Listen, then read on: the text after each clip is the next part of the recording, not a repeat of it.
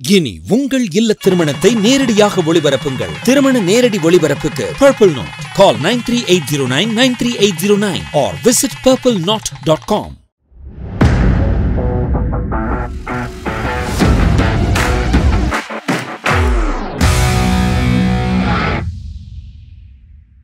அதான் ஃபஸ்ட் அப்போ தான் சம்பளமே வாங்குறேன் சினிமாவில். இவ்வளோ நாள் இருந்த மத்தியா அப்போலாம் சம்பளமே கிடையாது. எனக்கு ஐம்பது ரூபா இருபது ரூபா பேட்டா தான். பேட்டா தான் கொடுப்பாங்க. அது ஏதோ அது ஐம்பது ரூபா நான் கையில் வாங்கினப்ப சந்தோஷப்பட்டு பாருங்க. சீரியஸாக நான் இவ்வளோ நாள் சம்பளம் வாங்கினா அவன் சந்தோஷம். ஐம்பது ரூபா முத முத என் கையில் கொடுத்தாங்க. யார்? மாயக்கண்ணன் ஒரு ஆர்ட் டைரக்டர் அவர் தான் வந்து ஜிருனுக்கு அதில் அசோசியேட் பண்ணார் லிங்கம் உங்களுக்கு வந்து ஒரு நாளைக்கு ஐம்பது ரூபா அப்படின்னு சொல்லிடுறாங்க. சரிங்க என்று முதல் நாள் ஒரு ஐம்பது ரூபா என்கிட்ட கொடுத்தாரு கையில். அந்த ஐம்பது ரூபாய் வாங்கி அவ்வளோ எனக்கு பயங்கர காசாக தெரிஞ்சுது. சூப்பராப்பா ஐம்பது ரூபாய் கொடுத்துட்டாங்கடா சினிமாவில் நம்மளுக்கு. அந்த ஐம்பது ரூபாயை நான் வந்துட்டு ரொம்ப சந்தோஷமாக பார்த்த தருணம் இருக்குல்ல அது மறக்க முடியாது நான். அப்போ அந்த ஏழாம் அறிவில் எனக்கு வந்து ஒரு ஏழாயிரம் ரூபாய் செக் கொடுத்தாரு ராஜீவ் சார். அந்த ஒர்க் பண்ணதுக்கு செக் வாங்குறேன் அவர்கிட்ட முதல்ல. அது ஒரு வாரி நம்ம தொழில் ரீதியாக அவர் அப்டேட் ஆகிறத நம்மளுக்கு ஒரு பெரிய உளவியலாகவே சைக்காலஜிக்காக நம்மளை நம்ம வேற ஒன்றும் ஆயிட்டு வரன்ற ஒரு நம்பிக்கையை கொடுக்குற ஒரு ஒரு காசோலையாக நான் அதை பார்த்தேன். ஒரு பெரிய ஒரு வால் மாதிரி பார்த்தேன் அந்த ஒரு செக்கை பயங்கரமாக இருந்தது அவர் கொடுத்தது. ஏன்னா அவர் வந்து பய ஒரு ரெஸ்பெக்ட் பண்ணுற ஆளுக்கு தான் அவர் வந்து இது பண்ணுவார். ரொம்ப அவர் திறமையை வந்து அப்ரிஷியேட் பண்ணுவார். அந்த மாதிரி எனக்கு அவர் கொடுத்த ஏழாயிரம் ரூபாய் செக்கு அதை இன்னி வரலும் அவர் கையில் தான் முதன் முதல்ல நான் செக் வாங்கினேன். அது என் வீட்டு வாடகை பண்ணணும் சார் சும்மா ஒரு வார்த்தை சொன்னேன். டக்குன்னு யோசிக்க டக்குன்னு செக் போட்டு கொடுத்தாரு. அது அதுக்கப்புறம் அப்புறம் அந்த நல்லா ஒர்க் பண்ணனு ஒரு ஷூ வாங்கி கொடுத்தாரு. அடிட்டர் ஷூலாம் வாங்கி கொடுத்தாரு. இது மாதிரிலாம் நம்மளை சந்தோஷப்படுத்திப்பாரு. அது ரொம்ப இதெல்லாம் வந்து என் அசிஸ்டன்ட் நான் அவர்கிட்ட இருந்து கற்றுக்கினேன் இதில் மாதிரிலாம் நம்ம அசிஸ்டன்ட் ட்ரீட் இருக்கணும் அப்படின்ட்டு. ட்ரீட் பண்ணுன்றத இது செம்ம மேட்ரு அது அவர்கிட்ட இருந்து நான் கற்றுக்கின விஷயம் இதுதான். அவர்கிட்ட இருந்து நான் ஆர்ட் டைரக்ஷனை கற்றுக்கணுன்னா இல்லையான்றதுலாம் அது அப்பாற்பட்ட விஷயம். அவர்கிட்ட ஒரு ஒருத்தங்கிட்ட எப்படி நம்ம பேசணும் ஒருத்தவங்களை எப்படி நடத்தணும் ஒருத்தங்கிட்ட எப்படி அதை நான் அவர்கிட்ட கற்றுக்கினேன் கற்றுக்கின்னு அதுக்கப் இன்றைக்கி வந்து இப்படியான ஒரு செட்டப்லாம் அவர்கிட்ட இருந்து கற்றுக்கின சில விஷயங்கள் தான். அப்புறம் அந்த ஏழாம் வரி முடிஞ்ச உடனே அட்டகத்தி. அப்போ ரஞ்சித் வந்து இது மாதிரி ஒரு கதை சொல்லி ஓகே பண்ணிட்டேன். அட்டகத்தின்னு ஒரு படம் பண்ண போகிறோம் அப்படின்னு. சூப்பர் பிரதர் அப்படின்ட்டு ஆஹ், அவர் என்ன ரஞ்சித் என்ன கேட்குறாருன்னா என்னை வந்து நீங்கள் பண்ணுவீங்களா அப்போ? அப்படின்னு என்ன ஒரு கேள்வி கேட்குறாப்புல நான் என்ன சொல்கிறேன் சரி இல்லை நான் ராஜீவ் சார்கிட்ட ஒர்க் பண்ணிட்டு ஏன்னா இன்னும் ரெண்டு வருஷம் கூட நான் ஒர்க் பண்ணுறேன் இன்னும் நல்லா தெரிஞ்சுக்கிறதுக்கு. நீங்கள் வேற யாரா கூட பாருங்க சரி வேற யார் போடலாம்? சொல்லுங்கள் அப்படின்றாப்புல ஆ, என்னையே கேட்குறாரு உங்களே கேட்குறேன் ஆமாம் நான் என்ன சொல்கிறேன் சரவணன் இருக்கிறான் என் கிளாஸ்மேட்டு சரவணை பண்ணலாம். இல்லைன்னா ராஜா கூட பண்ணலாம் பிரதர் ராஜா என் கிளாஸ்மேட்டு அவனுக்கு பாட்டு பண்ணிருக்கான். ஆ, ராஜா இது பண்ணலாமா? சரி பிரதர் அப்போ ஓகேன்ட்டு அவர் ராஜா கிட்ட பேசியிருப்பார் நான் பேசணும் தெரில அப்புறம் நானும் ராஜா கிட்ட ஃபோன் பண்ணி சொல்கிறேன் ராஜா இது மாதிரி ரஞ்சித் கேட்டார். நீ உன்னை உன்னை சொல்லியிருக்கேன் ராஜா. நீ அந்த படம் பண்ணு. ஐயோ தலைவா நீ வேற நாங்கள் எல்லாம் நம்ம இப்போலாம் பண்ணது நான் வரல. நான் நல்லா போயிட்டுருக்கு. நான் பண்ண மாட்டேன் ராஜா. எனக்கு வேணாம் நான் வந்துட்டு இந்த மோகன் அண்ணன் மோகன் ஒரு ஆர்டர் அவர்கிட்ட ஒர்க் பண்ணிருக்கேன் நாங்கள் ஒரு செட்டப்பாக போயிட்டு இருக்கிறோம் அதெல்லாம் வேணாம் பிரதர் எங்க? அப்படின்றான். என்னடா? வந்துட்டு சரி நான் விட்டேன். திரும்ப அவர் ரஞ்சித் ஃபோன் பண்ணி பிரதர் சரி நீங்களே பண்ணிடுங்களா என்ன அப்படின்றாப்புல. நான் கூட நானே பண்ணுறேன்னு சொல்ல முடியாதுல்ல. நீங்களே பண்ணிடுவீங்களா? பண்ணிடுவீங்களா? ஏன்னா அவருக்கு என்னடான்னா இப்போ நான் அந்த ஆஃபீஸ்லாம் ஒர்க் பண்ணிட்டு வந்திருக்கிறேன்ல நான் பண்ணிட்டோன்னா ஒரு சின்ன டவுட் இருந்திருக்கு அவருக்கு. சினிமாக்குள்ளே கிடையாது. ஆஃபீஸ்க்கு போயிட்டு திரும்ப வந்து நாலஞ்சு மாதம் தான் ஆகுது. ஆக்சுவலாக வந்துட்டு என்னை ரிசைன் பண்ண சொன்னதே அவர் தான் திரும்ப சினிமாவிலேருந்து ரிசைன் பண்ண சொன்னதை நீங்கள் ரிசைன் பண்ணிவிடுங்க நம்ம படம் பண்ண போகிறோம் நீங்கள் வாங்க. சினிமாவில் என்ன நடக்குதுன்னு கொஞ்சம் பார்த்து வச்சுங்க ரெண்டு மூணு மாதத்தில் பார்த்து வச்சிட்டிங்கன்னா ஒரு ஃப்ளோவில் உங்களுக்கு தெரியுன்றார். அதுக்கு தான் நான் ரிசைன் பண்ணுறேன். சரி அவரும் இது மாதிரி பேசும்போது சரி ஏதோ ஒரு ஒரு இது இருக்கும் அவருக்கு. சரி அவரோட ஒரு படைப்பாளியுடைய சுதந்திரம் தானே. நம்ம போயிட்டு அது பண்ண விட. சரி பிதா நான் என்ன சொல்கிறேன் அப்போ? சரி பிதா நீங்கள் எதாவது பண்ணுங்கள் ஏதாவது நடிக்கிறது இடித்து வாய்ப்பு விடுங்களா அவர்கிட்ட கேட்குறேன். அவர் ஏதாவது சைட் ரோல் ஏதாவது ஆமாம் சும்மா. ஏதாவது அவர் கூட இருக்கணும்னு ஒரு ஆசை எனக்கு.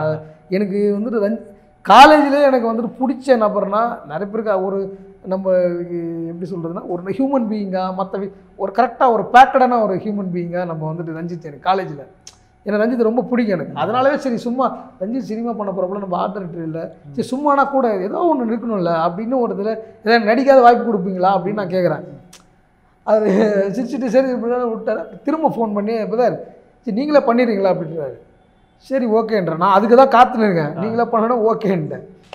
பண்ணிவிட்டு இப்போ நான் வந்து ராஜீவ் சார் வந்துட்டு இந்த ஷோப்னாவுக்கு ஒரு ப்ரோக்ராம் பண்ணுறாரு அந்த ஷோப்னா ப்ரோக்ராமில் வந்து நான் ஒர்க் பண்ணிகிட்ருக்கேன் இதுக்கு இடையில் என்னை எல்லாருமே வந்துட்டு புருஷோத்துன்னு ஒரு ஆர்ட் நண்பன் அவன் நண்பன் தான். மச்சான் அவன். எனக்கு பயங்கரமாக நல்ல அவன் என்ன பண்ணுவான்? இப்போ பாரு அட்வைஸ் பண்ணிகிட்டே இருப்பான். எனக்கு இந்த அட்வைஸ் பண்ணுறவனே பிடிக்காது. ஆனால் நான் அட்வைஸ் பண்ணுறேன் எல்லாருக்கும் எனக்கு எனக்கு அட்வைஸ் பண்ண எனக்கு வந்துட்டு என்ன பண்ணுவான்? ஏய் மச்சி என்னடா இதுக்கிடையில் ஒன்று நடந்தது. என்னடானா நான் சினிமா விட்டு போனேன்ல.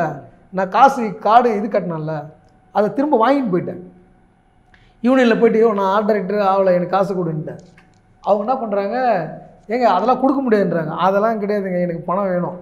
அதெல்லாம் முடியாது எனக்கு காசை கொடுங்க. எனக்குன்ட்டு நான் சண்டை போட்டு அது பைலாவிலே கிடையாது யூனியனில். முதன்முறையாக நான் தான் வாங்கியிருப்பேன் ரிட்டன் பணம் கட்டின பணத்தை. நான் என்ன சொல்லிட்டேன் நான் உங்கள் யூனியன் மெம்பர் ஆகவே இல்லை. நீங்கள் எடுத்து வேணா பாருங்கள் நான் வந்து பணம் கட்டிருக்கேன் எனக்கு ரசீது கொடுத்துருக்கேன் அவ்வளோதான் என் பணத்தை திருப்பி கொடுங்க. நீங்கள் இப்போ ரசீது இருக்கீங்கன்னு இப்படி அப்புறம் பேசி ஈஸி அதுக்கப்புறம் அவங்க ஒரு இது போட்டு சரி அப்படிலாம் கொடுக்க முடியாதுங்க. வேணா வேற வேணா செய்யலான்றாங்க என்னடா செய்யணும்னா நீங்கள் திரும்ப சினிமாவுக்கு வரணும் எழுதி கொடுங்க. அப்போ தான் பணம் கொடுப்பேன்றாங்க. என்னடா பேசுறாங்க. ஆமாம் இது எப்படின்னா சினிமா வந்து என்னை விடமாடுது அதாவது என்னை வந்துட்டு டே நீ போகவே கூடாது. அதுவே என்னை அதே கூப்பிடுது பிடிச்சி இழுத்துக்கிட்டு. அவங்களாவே சட்ட சரத்துக்களை எனக்கு சாதகமாக உருவாக்குறாங்க. நான் சொல்லாமலே அவங்க அதெல்லாம் கிடையாதுங்க. திரும்ப சினிமா கொண்டு எழுதி கொடுத்தாதாங்கன்றேன் அதானே கூடிய திரும்ப வரும்னு எழுதி கொடுத்துட்டு ஆ. பணத்தை கொடுன்னு வாங்கிட்டு போயிடுறேன் நான் திரும்ப வரும்னு ஐடியாவில் கிடையாது அப்பா அவங்கள ஒரு வணக்கம் நான் போயிடுறேன் நான் பணத்தை எடுத்துட்டு. ஆனால் திரும்ப இது மாதிரி சினிமாவுக்கு வரோம் அப்போ யோசிக்கிறேன் பரவாயில்ல அவங்களே எழுதி கொடு இல்லை இல்லைனா நான் இனிமேல் சினிமாவுக்கு வர மாட்டேன்னு எழுதி கொடுன்னு சொல்லி தான் நான் ஆயிடுவோம். யூனியனில் ஏ நீ எழுதி கொடுத்துருப்ப உன்னை யார் யார் டைரக்ஷன் பண்ண சொன்னது? இப்போ யூனியன் இதெல்லாம் இருக்குது இதில் இது மாதிரி சும்மா வெறுப்பாலாம் பேசுவாங்க சில விஷயங்கள். அதனால் வந்துட்டு சரி அதுவே நம்மளுக்கு பணத்தை வாங்கிட்டு போயிட்டேன். இதை வந்துட்டு நான் பணத்தை ரிட்டர்ன் வாங்கிட்டு போயிட்டேன்னு எல்லா ஸ்டூடெண்ட்டுக்கு தெரியும். பிள்ளையார் நீ இன்னைக்கு மூணு லட்ச ரூபாய் ஆயிடுச்சு. கார்டு வந்து மூணு லட்சம். நான் பண்ணும்போது எழுபத்தஞ்சாயிரம் இப்போ மூணு மூன்று லட்ச ரூபா ஏதோ சம்திங். மூன்று லட்ச ரூபாய் ஆயிடுச்சு. நீ வந்து கட்டின பணத்தை வாங்கணும் மாதிரி யார் என்ன பண்ண போகிற இப்போ? என்ன இப்போ இது எப்படி அசிஸ்டன்ட் அதாவது நான் அசிஸ்டண்ட்டாக வாழ்கிறதுக்கே என்ன பண்ண போகிறேன்ற மாதிரி பேசிட்டு இருக்காங்க எல்லாரும். நான் ஆர்ட் டைரக்டர் ஆக போகிறதுன ப்ராசஸ் ஒன்று போயிட்டு இருக்கு ஆ. அது சைடுல போயிட்டு இருக்கு போயிட்டு இருக்கு ஆ. அது தெரியாத அவன் போய் அட்வைஸ் பண்ணுவான். ஊட்டியில் வந்துட்டு ஒரு ஆட் ஃபிலிம் போய் ஷூட் பண்ணுறோம் அந்த சோப்னா ஒர்க்குக்கு முன்னே அப்போ சொல்ல டேய் என்ன மச்சான் நீ? எங்கள் போகிற நீ எப்படா ராஜீவ் சார் கிட்ட வந்து ஒரு ஃபஸ்ட் அசிஸ்டண்ட்டாக ஒர்க் பண்ணுவேன் எங்களை மாதிரி. அப்படின்னா சம்பளம் அதிகமாக வரும். ஒரு மூவாயிரரூபா ரெண்டாயிரத்தி ஐநூறுபா கொடுப்பாங்க பேட்டா. அது மாதிரி இருக்கிறவங்களுக்கு. கார்டு வச்சுருந்தா. நான் தான் திரும்ப கார்டு எடுத்து இது பண்ணிட்டேன்ல. என்னடா நீ எப்படா கார்டு வாங்கி என்ன பண்ணு? சரி விடு மச்சான் பார்த்துக்கலாம் என்னடா நீ எப்படின்னு எனக்கு வந்து பயங்கரமாக என்ன ஏதோ பிரதாபமான ஒரு அளவாக அட்வைஸ் பண்ணுவான். டேய் உட்றா அப்படின்ட்டு பேசுவான். அதுக்கப்புறம் இந்த வனராஜினி நம்ம நண்பர் தான். அவரு வந்துட்டு சொல்லுவாப்புல என்ன இல்லைங்க இந்த மாதிரி பண்ணிட்டீங்க? எல்லாரும் சொல்லப்பட வேஸ்ட் ஆள். பணத்தை கட்டி வாங்கி முடிப்பேன்னா அப்புறம் பாவம் இப்போ சம்பளம் வந்து ஏழை முறையில் எனக்கு வந்துட்டு யூனியன் சம்பளம் கொடுக்க முடியாது. எப்படி வந்துட்டு சும்மா ஏதாவது காசு கொடுப்போம் ஓகே. அவர் ராஜீவ் சார் அதனால செக்லாம் கொடுத்தாரு. இந்த மாதிரி வந்து நான் நீ கார்டே எடுக்கலையே என்ன பண்ண போகிறேன்ற மாதிரி என்னை வந்து பார்க்குறானுங்க எப்படா கார்டு எடுத்து அசிஸ்டண்ட் ஆகி ஆர்டர் ஆக போகிறான் அப்படின்ற ரேஞ்சில் என்னை வந்து பார்த்துனுக்குறாங்க சரி நான் வந்து என்ன பண்ணி எனக்கு தெரியும். சரி ஓகே பார்த்து போயிடுறேன் இங்கே ஒரு பாஸ் அட்டகத்தி பண்ண போனால் அப்புறமா போயிட்டு ப்ரொடியூசர் மீட்டிங் அப்புறம் ப்ரொடியூசர் வந்து போய் பார்த்துட்டு வந்தேன் எல்லாம் ரெடி ஆகிட்டு இங்கே சோப்பனா போயிட்டுருக்கேன் போயிட்டுருக்கு. இன்றைக்கி சோப்பனா முடிச்சுட்டு ரெண்டு நாள் கழிச்சு அட்டகத்தி ஷூட்டிங் ஃபஸ்ட் நாள் நடக்க போகுது. ஷூட்டிங்லாம் ரெடி ஆகிட்டேன் எல்லாரும் அசிஸ்டண்ட்லாம் செட் பண்ணி எல்லாம் ஆஃபீஸ்லாம் போயிட்டுருக்கேன் அட்வான்ஸ்லாம் நான் வாங்கிட்டேன். இப்போ வந்து நீ அசிஸ்டன்ட் கார்டு எப்போ எடுக்க போகிறேன் என்கிட்ட பேசினுக்கிறானுங்க நான் ஏதோ இன்னமும் என்ன பண்ண போகிறேன் தெரியலன்ற மாதிரி. அதுக்கப்புறம் நான் வந்துட்டு முதல் நாள் ஷூட்டிங்கு நான் இன்னொரு விஷயம். இந்த சினிமா மீது எதையுமே என்ன வேணாலும் நிகழலாம் சினிமாவில். எப்போ வேணாலும் என்ன வேணாலும் நடக்கும். அந்த மாதிரி அதாவது திடீர்னு ஏன்னா இது வந்து வரையறுக்கப்பட்ட கிராஃப்ட்டுக்குள்ளே இருக்கிற ஒரு தொழில் கிடையாது. இது இன்னைக்கு நடக்கும்னா இன்னைக்கு நடக்குன்றதெல்லாம் கிடையாது. கிடையாது. அது மாதிரி கிடையாது சினிமா. இது எல்லாத்தையும் கற்றுக்கணும் நான் உள்ள. என் ஒய்ஃபுக்கிட்டே நான் வந்து அட்டகத்தின்னு ஒரு படம் பண்ண போகிறேன்னு தெரியாது. நான் ஏதோ போயிட்டு இருந்து தெரியும் அவ்வளோதான் நான் படம் பண்ணுறதே தெரியாது. அதுக்கப்புறம் அவர் ரஞ்சித் கூப்பிட்டாரு அந்த டீம் தெரியும் அவ்வளோதான் மற்ற யாருக்குமே தெரியாது நான் ஒரு ஆர்ட் டைரக்ஷன் ஒரு படம் பண்ண போகிறேன் ம். அப்படியே போகிறேன் அப்புறமா ஷூட்டிங் ஸ்டார்ட் பண்ணிட்டாங்க. இங்கே நம்ம பணம் இந்த பக்கம் தான் அந்த மணப்பாக்கம் அந்த சைடில் ஆ. ஃபர்ஸ்ட் நாள் ஷூட்டிங் அந்த தினேஷ் வந்துட்டு அந்த மிச்சர் சாப்பிடுவான் கிளைமேக்ஸில் தாடிலாம் வச்சுட்டு கொஞ்சம் மிச்சர் கொடுன்னு கேட்பான். அவன் குழந்தைய. அந்த குழந்தை அம்மா பாரு அப்பா ஏமா சாப்பிட்றாருன்னு அது இந்த ஷாட்டு தான் முதல் ஷாட்டு இதை வந்து அவர் ரஞ்சித் வந்துட்டு ஸ்டார்ட் கேமரா சொல்லி ஆக்ஷன் அப்படி சீன் முடிஞ்சு கட் அப்படின்னாரு. சீன் ஓகே அப்படின்னு தான் டக்குன்னு ஃபோன் பண்ணேன். அப்போ தான் நம்ப நம்பிக்கை வந்துச்சு. ஓ ஷூட்டிங் ஸ்டார்ட் Right. அப்படின்னு. அட்வான்ஸ் வாங்கினப்போ கூட நான் இது பண்ணல. இது எல்லாம் ஷூட்டிங் ப்ராசஸ் ஆரம்பித்த உடனே தான். ஃபஸ்ட்டு ஃபோன் வந்து ராஜீவ் சார் தான். சார் இந்த மாதிரி ஒரு படம் ஒன்று பண்ணுறேன் சார் அப்படிடா? ஆ சொல்கிறா என்னென்ன படம் இந்த மாதிரி ஒரு அட்டகத்தின்னு ஒரு படம். அப்படிடா சரி சரி ஓகேடா ஓகேடா ஆ சரி சரி. அதான் சார் அவர் என்ன நினச்சிட்டாரு ஏதோ படம் பண்ண போகிறான்னு சொல்கிறான் இவன் எப்போ பண்ணுவானா பண்ண மாட்டானா அப்படின்னு கேட்டுறாரு. இல்லை சார் அந்த ஷூட்டிங்கில் தான் சார் இருக்கேன். முதல் நாள் ஷூட்டிங் தான் உங்கள்கிட்ட சார். ஒரு ஒரு உதவியாளர் இழக்கிறவன் அப்படின்னு ஒரு இது இருக்கு. அவங்க எல்லாருக்குமே. ஒரு நல்லா வேலை செய்கிறவங்க கூட தான் அவங்களுக்கு ஒரு சப்போர்ட்டாக இருக்குல்ல அவருக்கு. அது ஒரு தான் அது நம்மளுக்கு ஒரு நல்ல விஷயம் தான் அவருக்கு. கட்டு கட் பண்ணிவிட்டு அப்புறமா என் ஒய்ஃப் எல்லாருக்கும் சொன்னால் இன்னும் எனக்கு அந்த படம் அப்படியே எனக்கு அது ஒன்றா அதாவது என்னடானா உன் மீது அதீத நம்பிக்கை வைக்க வச்சுட்டோம்னா அதுக்குள்ளே ஒரு எதிர்பார்ப்பு உருவாகிட்டே இருக்கும். அதனால நான் பிளாங்காக அணுகிறது எல்லாத்தையுமே. என் ஒய்ஃபுக்கு இப்போ நான் வந்து அட்டகத்தின்னு ஒரு படம் பண்ண போகிறேன் ஆர்ட் டைரக்டர் ஆகிட்டேன் அப்படின்னு நான் சொல்கிறேன்னு வச்சுங்களேன் உடனே அவங்க ஏதாவது கணக்கு படிச்சுமோ அவங்க நிலைமைக்கு ஒரு ஏதாவது யோசிப்பாங்க. ஓ அப்போ நம்ம வீட்டுக்கார் போயிட்டாரு இப்போ சம்பளம் எதாவது வாங்க வரல ஏதாவது வீட்டுக்கு எதாவது வாங்கலாம் அதை வாங்கலாம்னு ஒரு ஒரு கணக்கு போடுவாங்க. அது நிகழாத போது அது பெரிய ஏமாற்றமாக மாறும். அப்போது அது நிகழ்ந்து அதுக்குள்ளே ஒன்று உருவாகி அது வேற ஒன்றா மாறும்போது சொன்னால் அதுலேருந்து நம்ம ஏதோ ஒன்று பண்ணும்போது எல்லாம் சந்தோஷப்படுவாங்க. அப்படி தான் நான் அதை பார்ப்பேன். எப்பயுமே எல்லா எந்த ப்ராஜெக்ட்டுமே ரஜினி சார் ப்ராஜெக்ட்டு கபாலி வந்து நான் பண்ண போகிறேன்னு ரஞ்சித் சொல்லிட்டாரு. ஃபோன் பண்ணி எனக்கு இது மாதிரி பண்ணுறோம் இது எல்லாம் ஓகே ஆகிட்டு இப்போது இப்போதான் நம்ம ரஜினி படம் பண்ணுறோம் அப்படின்னு சொல்லிட்டாருன்னு வச்சிங்களேன் நம்ம என்ன பண்ணுவோம் உடனே? ஒரு பத்து பேர் ஃபோன் பண்ணி சொல்ல. மாட்டோம். அவர் ஆனால் நான் யாரையுமே சொல்லவே இல்லை. என் ஒய்ஃபை கூட சொல்லலை. அப்படியே அப்படி தான் சரி ஆமாம் சரி பிரதர் ஓகே இதை நான் எப்படி சொல்லாமல் இருக்க முடியல? அப்படியே வாயை முன்னுறேன் டெய்லியும் போவேன் வீட்டுக்கு. இந்த சந்தோஷத்தை உள்ள அடக்கி வச்சுன்னு இருப்பேன். என் ஒய்ஃபு ரஜினி ரசிகர். இதை வந்து நான் எப்படா சொல்ல முடியாம எப்படா சொல்கிற நாள் நம்மளுக்கு எனக்கான நம்பிக்கை வரல அந்த நாள் எப்படா வரும்னு எதிர்பார்த்துட்டே இருக்கிறேன். இதுதானே பெரிய விஷயம். அப்படியே போயிட்டே இருக்கு.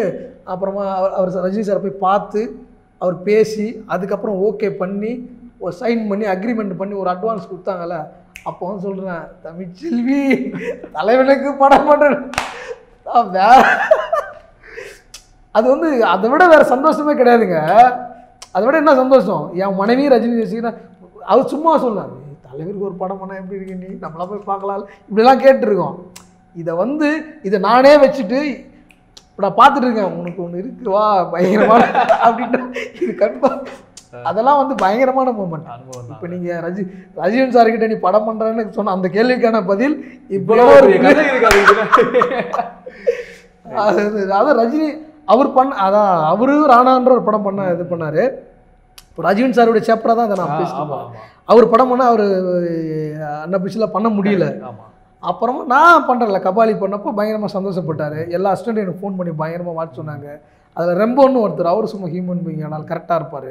அவர் தான் வந்து அவருமே கரெக்ட் அவர் தான் கொஞ்சம் நம்ம வாசிப்பான ஆள் அந்த க ரம்போன்ன்றவர் தேவையில்லாத இது பண்ண மாட்டார்.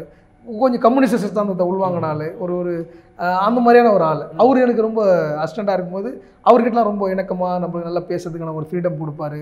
வாசிப்பு பற்றி பேசுறது இலக்கியங்கள் பற்றி பேசுறது இது எல்லாமே அவர்கிட்ட வரும்பொழுது நம்ம அவர்லாம் ஃபோன் பண்ணி எனக்கு பயங்கர இது பண்ணார். ரொம்ப நல்ல மனுஷர். எல்லாருமே என்னுடைய ராஜீவ் சார் அசிஸ்டன்ட் எல்லாருமே உண்மையில சொல்கிறேன் அவங்க பண்ண மாதிரியான ஒரு உணர்வு அவங்க எல்லாருமே எனக்கு ஃபோன் பண்ணி வாழ்த்து சொன்னாங்க. அது எனக்கு பெரிய சந்தோஷமாக இருந்தது. பயங்கர நம்பிக்கையாக இருந்தது அந்த விஷயம் அப்போ நடந்தது. அதுக்கப்புறம் நீங்க ஆர்ட் டைரக்டர் ஆகி நீங்க நிறைய படங்கள் பண்ணிட்டீங்க. நீங்க பண்ண முக்கியமான படங்கள் ஒரு சில படங்களுடைய பேரை நான் சொல்றேன். அதுல உங்களுக்கு ஏதாவது ஒரு ஞாபகம் நீங்க சொன்னீங்கன்னா போதும். ஃபர்ஸ்ட் குக்கு பத்தி சொல்லுங்க. எனக்கு ராஜமுருகன் தான் ஞாபகம் வராரு. குக்குன்ன உடனே எனக்கு ராஜமுருகன் தான் ஞாபகம் வராரு. ஏன்னா அதில் அந்த படைப்பு இதெல்லாம் தாண்டி ராஜமுருகன்ற மனிதன் தான் எனக்கு ஞாபகம் வராரு. ராஜமுருகன் ஒரு நல்ல ஒரு ஒரு ஒத்த கருத்து உள்ள ஒரு ஆள். ஒரு சமூக நீதி பேசுகிற ஒரு ஆள். ஒரு சமத்துவமாக எல்லாரும் இப்போ அந்த கருத்தை உள்வாங்கின ஒரு ஆளுன்னும் போது எனக்கு அவர் கூட அவர் ஒரு ஒரு படம் பண்ணுற மாதிரி ஒரு ஃபீலே இல்லை. அது போனால் இப்போ பாரு கதைகள் பேசினே இருப்பார். சிரிப்புனா நானும் பயங்கரமாக சிரிப்பேன். அவர் என்னை விட பயங்கரமாக சிரிப்பார். கேமராமேன் அந்த பிரமோத்னு ஒருத்தர் ஏன்பா மேனேஜர் கூட்டிங்க வாங்க. நீங்கள் வந்து லொக்கேஷன் பார்க்குறதுக்கு முன்னே இவங்க ரெண்டு பேரும் சிரிக்கிறதுக்கு பர்மிஷன் வாங்கிடுங்க அப்படின்னு அந்த மாதிரி ஆமாம் பயங்கரமாக ஹியூமன் பீயிங்கான ஆளு. அவர் கூட ஒர்க் பண்ணது தான் எனக்கு பெரிய விஷயமா பார்க்குறேன். சூப்பர். குக்கூல ராஜமுருகன்ற அந்த நபர் மட்டும் தான் ஞாபகம் ஒர்க் பண்ணது பெரிய விஷயம். ஆமாம் ஆமாம் அந்த படத்தில் ரொம்ப எப்படி ஒரு சினிமாவுக்கு போகிறேன்னா அதை நான் எதிர்பார்க்கறது எல்லாமே இதான் பிரதர். எனக்கு என்னென்னா ஒரு படத்தில் போய் ஒர்க் பண்ணும்போது. அங்கே வந்துட்டு ஒரு நல்ல படைப்பாக இருக்கணும். அந்த டேரக்டர் கூட ஒர்க் பண்ணுறதுக்கு எனக்கான ஒரு ஸ்பேஸ் அவங்க கொடுக்கணும். இதெல்லாம் இருந்தால் மட்டும்தான் கொஞ்சம் செலக்டிவாக தான் நானுமே அந்த மாதிரி இருந்தால் தான் அவங்களோட ரொம்ப லாங் டைம் பயணிக்க முடியும். அந்த மாதிரியான ஒரு ஆள் தான் ராஜமுருகன். ரொம்ப அவர் கூட ஒர்க் பண்ணது எனக்கு பெரிய அடுத்து மெட்ராஸ். மெட்ராஸ் அப்படின்னோடனே எனக்கு வந்துட்டு மெட்ராஸ் படம்னோடனே நான் வாழ்ந்து நான் அங்கேயே புழங்கி என்னுடைய இளமை காலங்களை கழிச்ச அந்த இடத்துல தான் ஷூட் பண்ணது. அந்த நாட் மெட்ராஸ் தான். அந்த இடத்துல அதே பாயிண்ட்ல அந்த ஹவுசிங் போர்டு இருக்குல்ல. சுவர் இருக்குல்ல? ஹவுசிங் போர்டு சுவர். அந்த சுவர் நான் நான் பார்த்து நான் பார்த்து படம் வரைஞ்ச சுவர். நான் அதில் நிறைய அம்மா படம்லாம் வரைஞ்சிருக்கிறேன். இந்த மாதிரி அந்த அந்த சுவர்களில் அங்கே இருக்கிற சுவர்களில் நான் வரைஞ்சிருக்கிறேன். அதுதான் என் ஏரியா. நான் பார்த்து நான் மெட்ராஸ்னாலே எனக்கு முதல் ஞாபகம் வர்றது அந்த இடம் தான் அந்த இடம் தான் அதுதான் மெட்ராஸ் படம் ஏன்னா நான் முதல் முதல் மெட்ராஸ்க்கு வந்தது அங்கதான். அதுதான் என் சித்தப்பன் பெரியப்பன் அண்ணன் தம்பி எல்லாம் வாழ்ற இடம் அது. எங்க ஊர் திண்டி பேராவூர் என்னுடைய ஊர். அந்த ஊர்ல இருந்து புலம்பெயர்ந்தவர்கள் தான் அங்க இருக்கிற இப்போ சொல்லிக்கிற சென்னை வாசிகளா இருக்கிற சந்ததிகள். சந்ததிகள் அவங்களுடைய பூர்வீகம் எல்லாமே என்னோட பேராவூர்ன்ற கிராமம் தான் ஓகேவா? அப்போ நான் எனக்கு ஞாபகம் வர்றது டக்குன்னு மெட்ராஸ்னாலே ஜமாலியா ஹவுசிங் போர்டு அதுதான் ஞாபகம் வரும். அந்த இடத்துல நான் வந்து ஒரு ஒரு படிக்கிற ஒரு பையனா வந்து ஊர்ல இருந்து அப்படியே போய் வேடிக்கை பார்த்துட்டு "ஐயோ, மூணு அடுக்கு கட்டிடுமா? அப்படியே பார்த்து அதான் நான் உன்னை அடிக்கடி சொல்லுவேன். என்னடான்னா எங்கள் ஆயா சொல்லுவாங்க ஏய் என் பொண்ணு அங்கே போனால் இங்கே உங்களை மாதிரி அடி இருக்கும். நாலு அடிக்கு மாடியில் முடி ஆத்திக்கின்னு நிற்கின்னுவாங்க ஓ நம்ம ஆயா வீட்டுக்கு நாலு அடிக்கு மாடிலாம் இருக்கு இது மெட்ராஸில் வீடு. நான் ஏதோ பயங்கரமான நம்ம சினிமாவிலே பார்த்த பங்களாக்கெல்லாம் இருக்குது மனம் இருக்கும்போது வந்தால் ஒய்யால கவர்மெண்ட்டுக்கு கட்டி கொடுத்த ஹவுசிங் போட்டு நினைக்கிறேன். அதில் ஒரு பிளாக்கில் ஒரு வீடு உங்களுக்கு. அதை வந்து இங்கே எங்கே சண்டை வரும்போது கிராமத்தில் ஏய் உன் பொண்ணு மாரி அடி என் பொண்ணு நாலு அடுக்கு மாடியில் முடி ஆத்து. அப்படின்னுவாங்க. அந்த நாலு அடுக்கு மாடியை பார்க்கணும்போது அப்படியே அண்ணாந்து பார்ப்பேன். நான் முதல் பார்த்த மாடி வீடுகளே அதுதான்.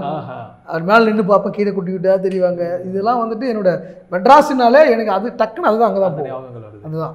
அடுத்து மாயா. மாயானால எனக்கு வந்துட்டு அதில் ஞாபகம் வர்றது வந்துட்டு நான் அதில் அந்த கேரக்டர் வந்துட்டு ஹீரோ கேரக்டர் வந்து ஆர்டிஸ்ட் சரியா? ஆ ஒரு மேகசினுக்கு இல்லுஸ்ட்ரேஷன் வரைகிறேன் அந்த வர படங்கள் எல்லாமே இருக்குல்ல அது நான் தான் வரைஞ்சது. அந்த அதில் வரும். கதையே வந்து அந்த படங்கள் சொல்கிற மாதிரி சொல்ற மாதிரி தான் ஆமா. ஆமா அவள் போன வந்தானா தப்பிச்சு ஓடுறது அந்த இதில் இருந்து ஃபுல்லாகவே ஒரு ஒரு சீக்வன்ஸ் ஃபுல்லாகவே அந்த டிராயிங்லேயே வரும். அந்த டிராயிங் ஆன் த ஸ்பாட்டில் நான் வரைஞ்சது அந்த படங்கள் பார்க்கும்போது அதுதான் எனக்கு அந்த படம்னால எனக்கு அதில் அந்த ஒர்க் பண்ண ஞாபகம் தான் எனக்கு வரும் கபாலி படம் வந்து ஷூட்டிங் நடந்துட்டு இருக்கும்போது உங்களுடைய அம்மாவை வந்து நீங்க போய் ரஜினி சார்ட்ட கூட்டு போய் ம். போட்டோலாம் எடுத்திருக்கீங்க அப்ப ரஜினி சார் பார்த்து உங்க அம்மா கிட்ட வந்து உங்களை பத்தி ரொம்ப பெருமையா சொல்லி உங்க அம்மா கண் கலங்கிட்டாங்க அந்த நிகழ்ச்சி எல்லாம் மறக்கவே முடியாது உங்க லைஃப்ல அப்படிங்கிற மாதிரி ஆமாம் சொல்லியிருந்தீங்க. அதே மாதிரி ரஜினி சார் சிரிக்கிறதும் உங்க அப்பா சிரிக்கிற மாதிரி இருக்கும் அப்படிங்கிற மாதிரி சொல்லியிருக்கீங்க. அதை பத்தி ஒன்று சொல்லுங்க. அதான் நான் அதுதான் ஏற்கனவே சொன்ன மாதிரி தான் இப்போ நம்ம அம்மா இப்போ நம்ம நம்ம பையன் என்ன ஆவான்? இப்போ நான் பண்ணுற செயல்பாடுகள்லாம் வந்து ஒரு ரசிகனுக்கு ஒரு நடிகருக்கு ரசி ரசிகன் ஒரு எயித்து படிக்கிற பையன் டெக்கு போடுறான்னா எப்படி இருக்கும்? இது என்ன பண்ணுவான் இவன்? பிழைப்பானா பிழைக்க மாட்டானா இவன்? பொறி இப்போ என் பையன் எயித்து படிக்கிறான். பார்த்தா எனக்கே பயமாக இருக்குது இவன் வயசில் நம்ம என்ன படிக்கிறோம் போடுறாங்க. சரியா? அவனை பார்த்தா நான் அவனை குழந்தையாவே பண்ணுறேன் அங்கே போகாது எங்கே போகுது. அப்பா நின்று வரான். இந்த வயசில் நம்ம முத்தனமாக இருந்திருக்கிறோம். அப்போ ஒருத்தன் வந்து இந்த பிளேடு எடுத்து வயிற்றுன்னு சொன்னால் அவன் பெத்தவன் என்ன பண்ணியிருப்பான் பெத்தவங்க ஐயோ இவன் உரிப்படுவானா பட மாட்டானா இது அறத்தில் ஆகிடும் போல இருக்கு. என்ன பண்ணும் அப்படின்னு இருந்திருப்பாங்களே எங்கள் அம்மா. அது எல்லாமே அவரோட ரஜினியோடயே இருக்குது அந்த அந்த வார்த்தைகள் எல்லாமே. அவர் ரசிகராக இருக்கிறதுனாலவே அந்த வார்த்தைகள் வருது இல்லை? அப்படி இருக்கும்பொழுது அவரோட படத்துக்கு நான் ஆர்ட் டைரக்டர் ஆகி நான் ஒரு பெரிய நபராக தெரிஞ்சு ஒரு எல்லா இடத்தையும் தெரியக்கூடிய நபராக மாறி இருக்கும்பொழுது அவங்கள அவங்கள கூட்டு போயிட்டு அவர்கிட்டே போட்டோ நிறுத்தி. ஃபோட்டோ எடுக்கிறத விட அவர் வாயாலே உன் பையன் அப்படி கிடையாதுன்னு சொல்கிறதுக்கு இதில்ல ஏன் நான் சொல்ல பதில் என் தலைவன் வாயில தான் எங்கள் அம்மா கிட்ட சொல்ல வச்சேன் அடடா. ஆ, ஆ. அவன் மா நீ அவர் சொன்னது எப்படி தெரியுமா இருந்துச்சு நீ சொல்கிற மாதிரிலாம் கிடையாது அவன் அப்போ சொல்லுவாங்கல்ல அதுக்கு பதில் சொல்ல மாதிரியே இருந்தது அதெல்லாம் அவர் பின்னாடி இருந்து பார்த்துருந்து இப்போ கூப்பிட்டு சொல்கிற மாதிரியே இருந்துச்சு. கூப்பிட்டு நான் என்ன பண்ணேன்? ஃபோட்டோலாம் எடுத்தாங்க. அப்போ தான் என் ஒய்ஃபெல்லாம் வந்தாங்க. அப்போ கூப்பிட்டு சொன்னார். மா அம்மா சார். ஆமாம் ஆமாம் வந்துட்டு. பார்த்தீங்களா செட்லாம் பார்த்தீங்களா அதெல்லாம் சுற்றி பார்த்தீங்களா என்ன பண்ணிக்கிறாரு பார்த்தீங்களா பெரிய அறிவாளிங்க. பெரிய ஆள். பெரிய அறிவாளி. பெரிய ஆளாக வருவார். பெரிய ஆளாக வருவாருமா? பையன் அப்படின்னு. இந்த வார்த்தை இருக்குல்ல அதுதான். அப்போ சொன்ன பாருங்க. அதுதான். அது நீ நினச்ச மாதிரிலாம் கிடையாது. அவன் இப்போ பாருங்க இதுதான் அவன். அப்படிலாம் பேசிக்க கூடாது நீங்கள் அப்போ அவனை அப்படின்ற மாதிரி இருந்த அந்த வார்த்தை. அது அண்ணாமலையில் சொல்லுவார்ல விடி சக்கரவர்த்தி புல்லன்னு பெத்தா இப்படி ஒரு புள்ளை அடடா. ரஜினி சாரை பார்த்து மனோரமா கிட்ட சொல்லுவாங்கல்ல. இது ரஜினி சாரே சொல்றாரு. ரஜினி சாரே நம்மள சொன்ன மாதிரி புல்லன்னு பார்த்தா அப்படி ஒன்று பெக்கணுன்ற மாதிரியே பேசினாரு. ஐயோ அது செம மறக்க முடியாத ஒரு மூமெண்ட் முடியாத moment. ஏன்னா எங்கள் அப்பா இல்லை. எங்கள் அப்பா இருந்திருந்தாருன்னா இதை வந்து அவ- அவர் வந்து கொண்டாடி எங்கள் அப்பாவும் ஒரு பய அதாவது நான் ஃபேனாக இருக்கிறதுக்கு போயிட்டு எல்லாருமே என்னை வந்து எனக்கு எல்லாரும் என் வீட்டில் பிடிக்கும். நான் எது பண்ணாலும் எனக்கு சப்போர்ட் பண்ணுவாங்க அதிகமாக அப்போது நான் ரஜினி ரசிகராக இருக்கிறது சப்போர்ட் பண்ண ஆரம்பிச்சிட்டாங்க எல்லாரும். எல்லாரும் கூடி "ஏய், என் பையன் உடுப்பா சரிடா சரிடா பண்ணுறா பண்ணுறா அப்படின்ற மாதிரி. எங்கள் அப்பா வந்து படையப்பா படம் பார்த்து சொல்கிறாரு எங்கள் அப்பா ஏய் என்ன தாண்டா ஆளு? பா ஒரு படம் எத்தனை தலைமுறையை சொல்கிறான்டா ஒரு படத்தில்? பா. வயசு பையனாக வரான் அப்புறம் வந்து கல்யாணம் பண்ணுறான் குழந்தை பார்க்குறான் அதுக்கப்புறம் வயசாயிரம் பொண்ணுக்கு கல்யாணம் எத்தனை தலைமுறை? ஒரு பயங்கரமா ஒரு ஒரு திரை விமர்சனத்தையே என்கிட்ட வைக்கிறாரு. இல்ல அது உண்மையான விஷயம் இல்லையா? ஆமா ஆ. அது சொல்றாரு என்கிட்ட. எத்தனை தலைமுறையை ஒரு படத்துல காட்டுறான்? இப்பதான் பையனா நடிக்கிறான் அப்பாவா நடிக்கிறான் தாத்தா இப்படின்னு பேசுறாரு. அதெல்லாம் ரஜினியை வந்து பயங்கரமா எங்க அப்பாவோட ஃப்ரெண்டுலாம் என்ன பண்ணுவோம் என்ன எங்க அப்பாவோட ஃப்ரெண்டுனா அவங்க ஊர்ல இருக்கிற விவசாயிகள். அவங்களுக்கு எல்லாமே நான் ரஜினியை போயிட்டு அவங்ககிட்ட சேர்த்துருவேன் அவங்க "ஆ, வராரு வராரு போறா ரஜினி வராரு ரஜினி வராருன்னு என்ன. வெறுப்பேற்றுவாங்க என்ன. நான் சின்ன பையனா இருப்பேன். எங்க வீட்டுக்கு வரவங்களாம் என்ன அப்படி அதை சொல்லி தான் நமக்கு அப்ப அந்த டைம்ல ஆமா ஆமா. என்ன ரஜினி சொல்றதே எனக்கு பயங்கர பயங்கர இதுவா இருக்கும். எல்லாருமே என் பேரே ரஜினி தான் சொல்லுவாங்க. அப்பா ரஜினி. ரஜினி தான். ரஜினி தான். நான் என்ன போட்டேன் ரஜினி ராமலிங்கம் இப்படிலாம் போட்டுக்கிறது இந்த மாதிரி தான். தலைவர் நம்மளுடைய லைஃபாக மாறி இருந்தார். அது கரெக்டாக இருந்துச்சு. சூப்பர் ஸோ அடுத்த படம் காலாலே நீங்க ஒர்க் பண்றீங்க. அஹ் காலா வந்து ஸ்ட்ராங்கான ஒரு அரசியல் பேசுற ஒரு படம் இல்லையா? அதுல வந்து நானா பட்டேகர் கேரக்டர் இருக்கட்டும் சரி ரஜினி சார் கேரக்டர் இருக்கட்டும் சரி சமுத்திரகனி இது அப்புறம் ஈஸ்வரி ராவத் இந்த மாதிரி அது பெரிய ஸ்டார் காஸ்ட் நடிச்ச ஒரு படம். ஸோ அந்த படத்தோடைய மறக்க முடியாத ஒரு மெமரி சொல்லுவாங்க அந்த படத்தை பற்றி சொல்லணும்னா மறக்க முடியாமன்னா இது நான் நானே பட்டேகர் வந்துட்டு அந்த செட்டை பார்த்து இது பண்ணது. எனக்கு நானே பட்டேகர் வந்துட்டு ஒரு பயம் ரொம்ப நேர்த்தியான ஒரு ஓவியர். ஆமா. ஓவியர் அவர். ஓவர் வரைய நல்ல படையவர் நல்ல படம் வரைய ஸ்பாட்டில் வரைஞ்சிருப்பார் பயங்கரமாக வரைவார். அவர் பார்த்தாலே கொஞ்சம் அப்படியே இது பண்ணிட்டே இருப்பார். கொஞ்சம் பயங்கர ஒரு வேறு மாதிரியான ஒரு தாட்டில் உள்ள ஒரு ஆள். அவர் அங்கே வந்துட்டு இது மாதிரி தாராவி செட்டு போட்டிருக்கோம் அப்படின்னு சொல்லியிருக்காங்க. மெட்ராஸ்க்கு வரணும் என்ன அதுக்கு என்ன மெட்ராஸ்க்கு எதுக்கு வரணும்னா தாராவி செட்டு செட்டாக தாராவி யாரெல்லாம் செட்டு போட முடியுமா? இது அதெல்லாம் பண்ண முடியாது. அது எவ்வளோ பெரிய லைஃப் அதுக்குள்ளே நான் போயிருக்கேன் அதெல்லாம் பண்ண முடியாது. நீங்கள் வேணால் இங்கே ஏதாவது பாம்பே ஸ்டுடியோக்குள்ளே ஏதாவது வச்சு பண்ணுங்கள் க்ரீன் மேட் பண்ணி பண்ணுங்கள் ஏதோ ஒன்று சொல்லியிருக்கிறாரு. அதெல்லாம் என்ன செட்டு கிட்டுன்னு எல்லாம். அப்படி ஏதோ ஒன்று சொல்லியிருக்காரு. செட்டின் மீது நம்பிக்கை இல்லாத ஏதோ பேசியிருக்காரு. இல்லைங்க நான் செட்லாம் போட்டாச்சு.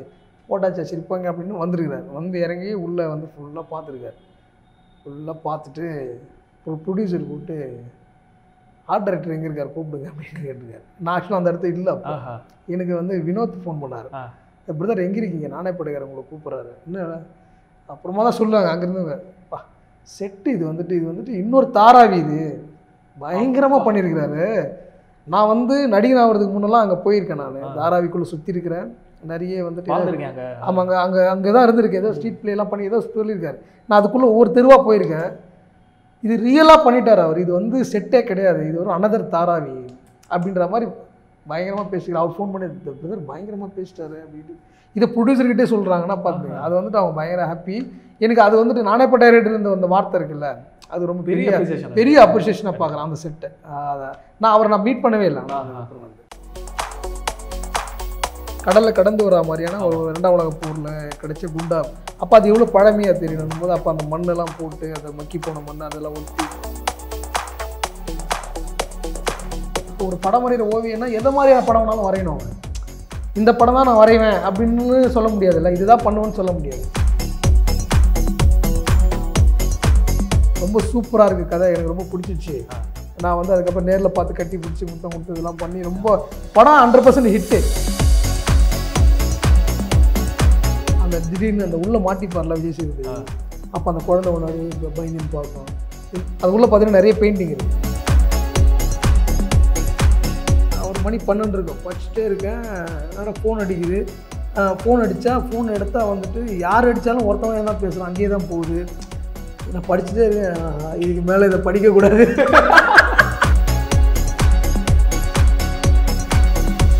கர்ணனுக்கே வரலையா? மாரி செல்வராஜோட வந்து ஆரம்பத்தில் ஸ்கிரிப்டு என்கிட்ட படம் பண்ண போகிறேன் அப்படின்னு ப்ரொடியூசர் பிளான் பண்ணி ஆரம்பிச்சதுலேருந்தே மாரி செல்வராஜ் கூட நான் இந்த தனுஷ் அவர் என்ன- அவர் என்ன மாதிரி டிசைன் பண்ணலாம் அவர் எந்த மாதிரி இருக்கணும் இப்படின்னு நிறைய படம் வரைஞ்சி காமிச்சோம் அந்த வால் விஷயம் இருக்குல்ல அது வந்து அது ஒரிஜினல் வாலை தான் வந்து தனுஷ் வந்து ஃபுல்லாகவே வச்சு படம் ஃபுல்லாக ஷூட் பண்ணியிருக்காரு அப்படிங்கிற மாதிரி ஒரு விஷயம் நான் கேள்விப்பட்டேன். அது பரபரப்பான சினிமா செய்திகள் நட்சத்திரங்களின் பேட்டிகள் சினிமா வரலாறு ஆகியவற்றை பார்க்கவும் படிக்கவும் உங்களுக்கான இணையதளம் tour and talkies dot co